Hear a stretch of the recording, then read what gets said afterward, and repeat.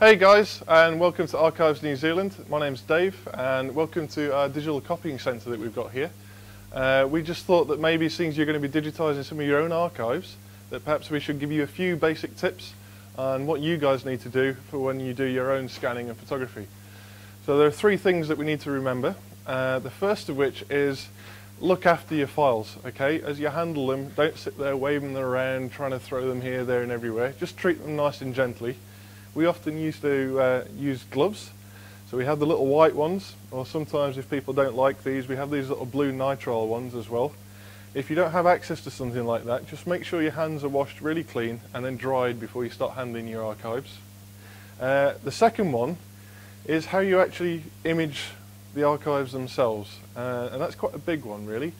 We tend to prefer that you'd use a scanner if you can, because the light's nice and even over the document and you get a nice even image as high a resolution as you can get away with. You can always turn it down later. No point taking small images and then trying to make them bigger again later on. If you don't have access to a scanner or your schools don't, um, try doing a bit of photography.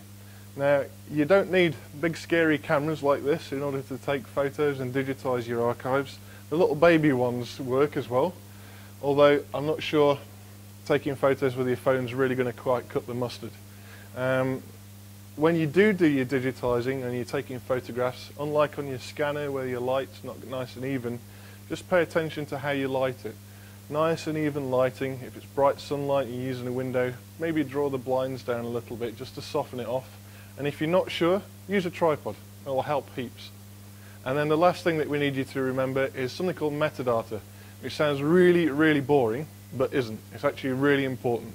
And that's more to do with how you name your files so you can find them later and also how you tag them. So when you're sticking them up on the website or you're reusing them later, describing them and tagging them is really important. Photos and the images don't mean much to people unless you can find them again later and realise what they're actually called. Okay? Hopefully that gives you a few tips. Give us a yell if you need anything else and we look forward to seeing your results. Bye.